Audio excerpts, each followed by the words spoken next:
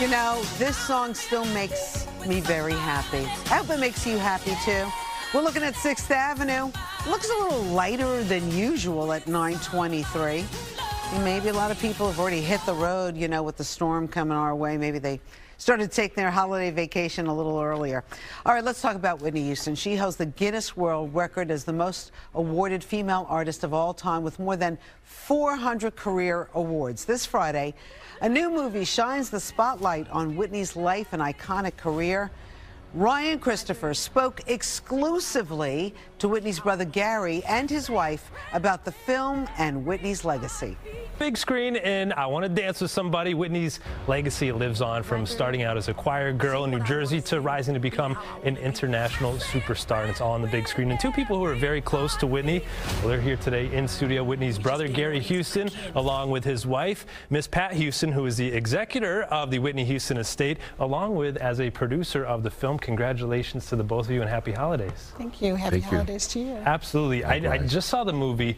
You watch the film and you leave the theater only with a deeper respect for one of the greatest singers of all time, your sister, your sister-in-law, Miss Whitney Houston, and you go home and you think about what she has done for, for music and what she has done for so many people. When you hear her music, what do you guys think about? You know, it's it's fascinating even now to still, you know, to hear her music. She was so gifted and so talented and so many. Talks about that in the film, wanting to tell a story through her music. And Gary, you toured the world for years with your sister. What was that like?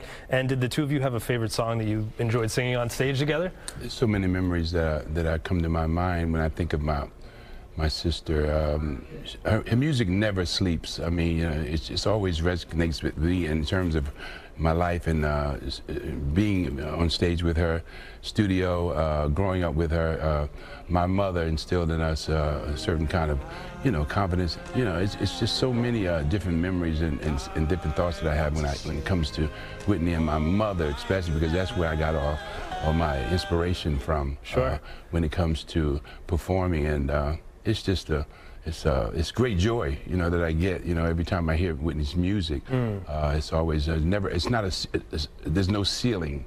You mentioned your mother, and in the film, she seems like one of the strongest characters. Like, did your mom have to approve of, of the casting in the film? No, I pretty much did most of, of that Oh, you did? Yeah. with the team. Yes, it was uh, Kasi Lemmons did such a phenomenal job uh, with the casting. Naomi I Aki. was gonna say, the star of the show. Oh My God. Yeah. Your music isn't black enough. Look, I don't know how to sing black and I don't know how to sing white either. I know how to sing. I know that you were there for the Super Bowl scene where Whitney sings the iconic mm-hmm. Super Bowl national anthem. So, what was that moment like being there on set with Stanley Tucci, with Clive Davis? It sounds like a meeting of the minds, like a masterclass.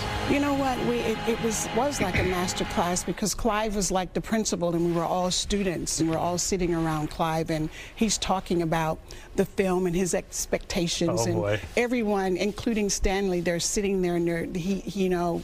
We're listening and hanging on to every word, so it was incredible. You Yeah. know, we, we he's he's the principal, and we were the students, and we took it all in. Uh, you know. A living legend. And Gary, you're about to grant us with a beautiful Christmas performance, a tribute to your sister.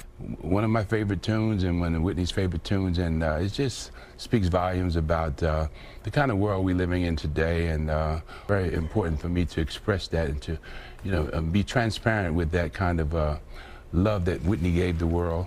We're so happy that you're both here. And now a special holiday tribute from Gary Houston.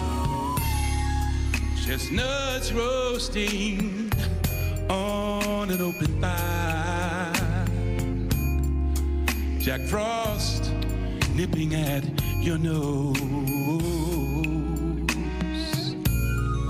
Yuletide carol being sung by a choir.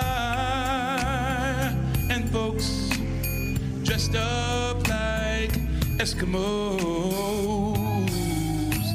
Everybody knows a turkey and some mistletoe help to make this season bright. Yeah, yeah.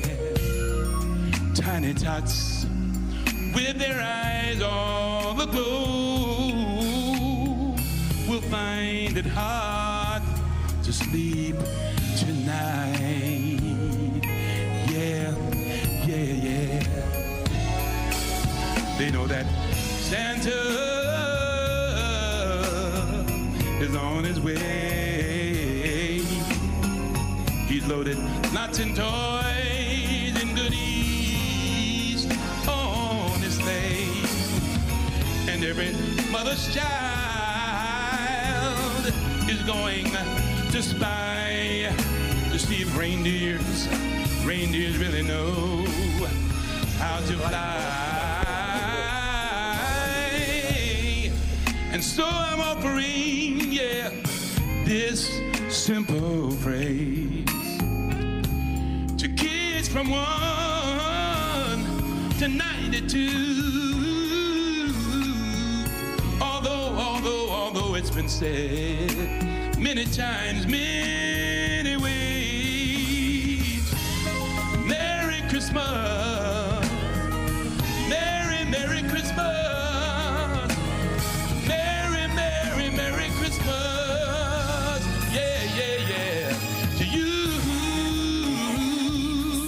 you and you, and you and you and you and you. Have yourself a Merry Christmas, y'all. Have a Merry Christmas,